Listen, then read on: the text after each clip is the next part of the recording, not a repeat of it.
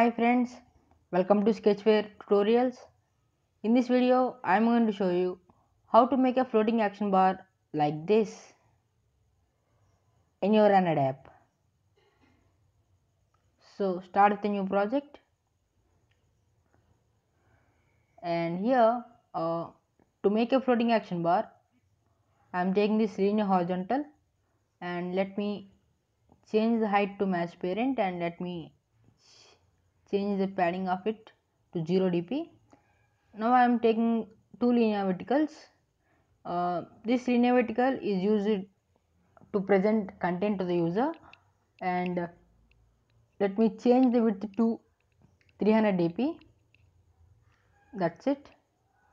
And now this linear 3 let me change the width to 50 dp and let me change the padding also 0 dp and let me change the gravity to right of the bottom part. Um, let me tell you what is the importance of this gravity soon.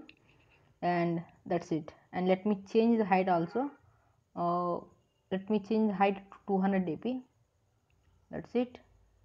Here as you can see uh, this appears as a floating action bar but this has to be present over the bottom part of this so what I'll do is let me change the marginal values of this to 300 dp I have to increase it furthermore.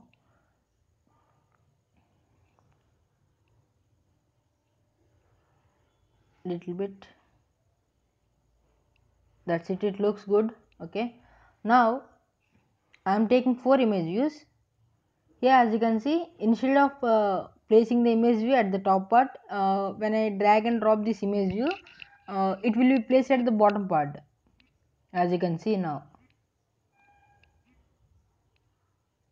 That's it. Here as you can see uh, you have to present uh, what you want to present to the user. That's it. All your content goes here. I'm just trying to drop uh, some features. That's it now um, i'm going to import images for this action bar. So for that go to the image manager and go to this import icon pack. Let me add this.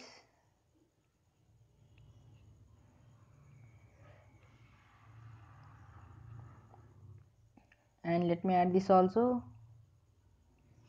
Sorry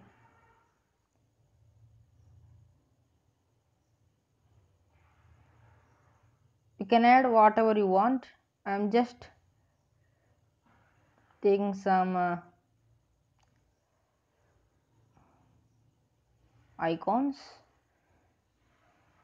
And when these icons are just click uh, you have to set uh, corresponding action to that.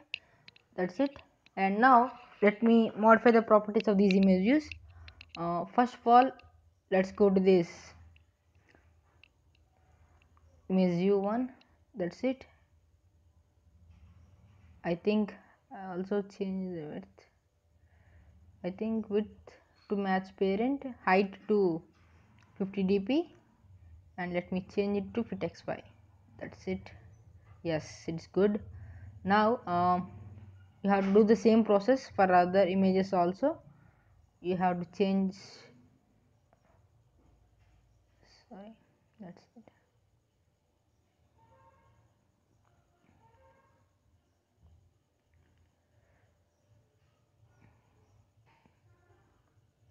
that's it.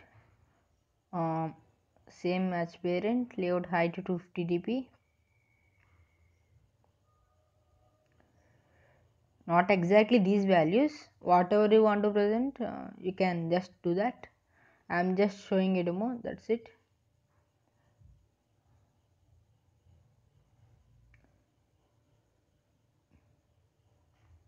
That's it. As you can see my floating action bar finishes. And you can present your own content to the user here.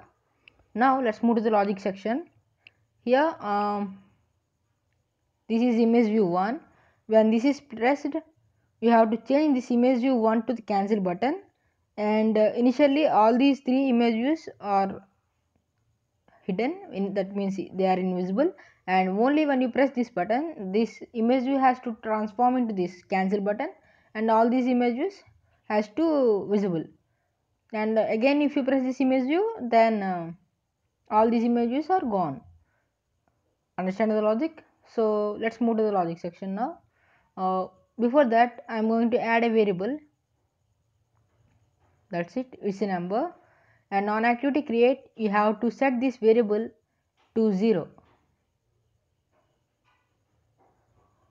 and when image view 1 is clicked that means uh, initially the variable has to ha the variable value has to be 0 so go to this if else block and go to this comparator.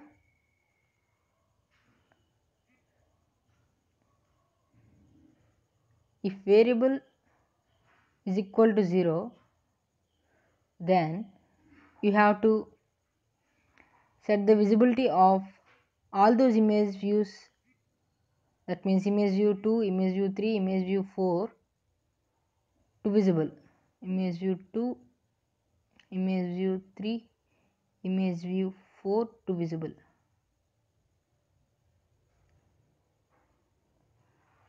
And just copy this and paste it here and change them to invisible or what I'm going to say is gone. And just increase the variable to 1 and here just decrease it. That's it. And when variable is clicked we have to change the image view 1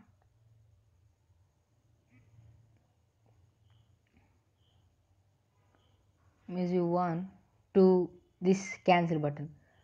And when it is again pressed you have to change this to again this plus button. That's it. And initially you have to hide the visibility of all these image views that's it. And when it is pressed and uh, these uh, image views are clicked you have to set uh, corresponding action uh, to that. I am just uh, leaving this uh, for example. Let me when this image view 2 is clicked you have to show a message to the user button 2 that's it. And you can place your own logic here. For demo purpose i am just showing this as a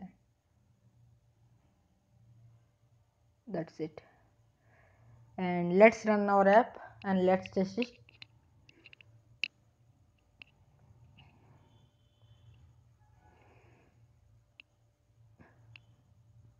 Here as you can see initially there will be no image views present over here.